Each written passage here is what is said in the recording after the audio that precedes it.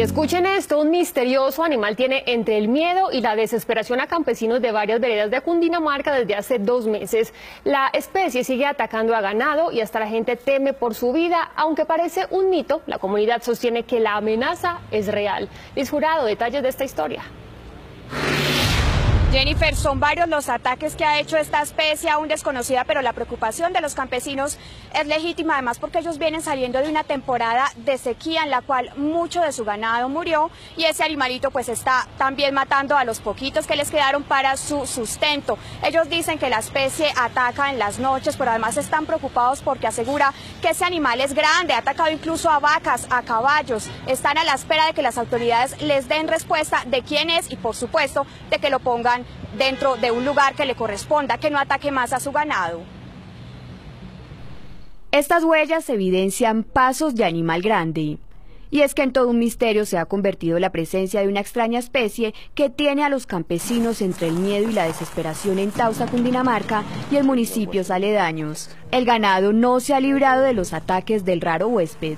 El cabrito lo mató instantáneamente. Los terneros, uno lo mató de una, se le trepó por la parte de la nuca y el estómago, le hizo un, orificio. Y los otros tres terneros los dejó heridos. Desde el 29 de abril al 2 de mayo, ocho, ocho ovinos eh, y presentan las mismas características. La comunidad lleva dos meses padeciendo por este raro animal que sigue al ataque. Otro caso ocurrió en las últimas horas en el municipio de Cucunubá. Vino un animal y la atacó, y un animal muy de mucha fuerza, porque de donde se condujo la ternera hasta aquí hay más de 200 metros. Para mí que este animal vuela. Hace dos meses también mató una yegua de la misma manera. Eh, la degolló y, y se le come solo un poquito. Mientras los ataques persisten por las veredas circulan todo tipo de rumores y hasta la gente teme por su vida. Dentro del sector donde nosotros habitamos, eh, incluso a las seis y media o siete de la noche ya no se ve que salga ningún niño ni ningún joven porque pues está corriendo peligro. El veterinario de la zona que realizó la necropsia a los animales atacados dio su propia versión. Solamente se ven las heridas, como te digo, pero no se ve ningún tipo de, de lesiones, así que se lo coma completamente no. Simplemente se mm, ataca como la parte del cuello, que es lo que más se, se enfoca. La Unidad Municipal de Asistencia Agropecuaria de la zona analiza si se trata de estos perros salvajes que quedaron registrados en una cámara de seguridad. Sin embargo, los campesinos insisten en que la especie es otra. Perros no, ni, ni un felino, no, no sería, porque si un felino matara a un animal, pues vendría a comerse la carne, pero solo se toma la sangre.